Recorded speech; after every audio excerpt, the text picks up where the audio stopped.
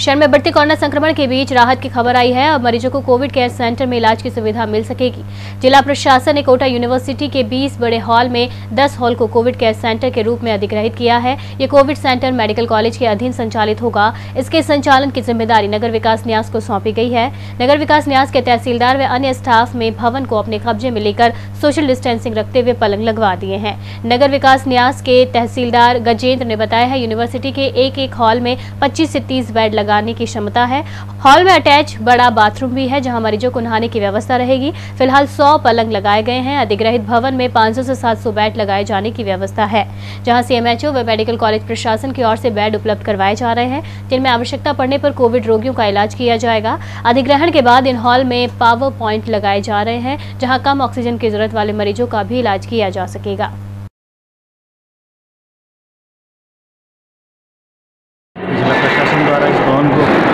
Covid care centre के रूप में चिन्हित किया गया। है लगभग 500 से 700 बेड लगाने की स्थान पर कैपेसिटी है। आज कोटा के सम्मानित बेलन इंस्टीट्यूट द्वारा इसके चलाने में सहयोग का प्रस्ताव जिला प्रशासन को दिया गया था।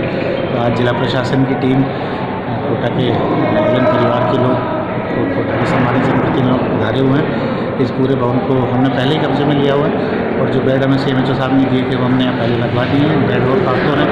बाकी कहे जा रहे हैं ऑक्सीजन कंसनट्रेटर भी लगाए जाएँगे लगाने के बाद जिन लोगों को कम ऑक्सीजन की आवश्यकता है, ऐसे मरीजों को यहाँ पर शिफ्ट किया जाएगा ताकि मेडिकल कॉलेज पर और अन्य कोविड डेडिकेटेड हॉस्पिटल्स पर लोड कम हो सके। आज हमने उसको यूनिवर्सिटी वाले कोविड केयर सेंटर जो 500 बेड का एक्सपेक्टेड है हमारा, उसको स्टार्ट कर रहे हैं। तो जितने बेड हमारे अभी उसमें शुरू हो सकते हैं। उतने में हम आज से चालू कर देंगे। आज से उसका प्रारंभ शुभारंभ हो जाएगा। कल से उसमें एडमिशन चालू हो जाएँगे। किंतु हमारा ये रहना चाहिए कि होम आइसोलेशन से जो इनिशियल स्टेज पे रिक्वायरमेंट है, जिसकी 90 से थोड़ा सा नीचे एक दो percent eighty eight eighty seven अगर हम ऑक्सीजन कंसनट्रेटर पे रख देते हैं तो वो 90 92 पे आ जाता है। उसको वहाँ रख सकते हैं।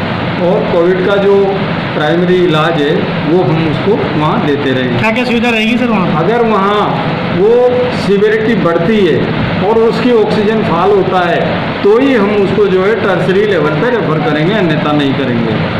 वहाँ पर जो है सुविधा सभी रहेगी। उनको बेड रहेगा, ऑक्सीजन कंसनट्रेटर रहेगा, जिससे ऑक्सीजन दी जाएगी। वहाँ पर प्राइमरी जो मेडिसिन है कोविड की, वो दी जाएगी।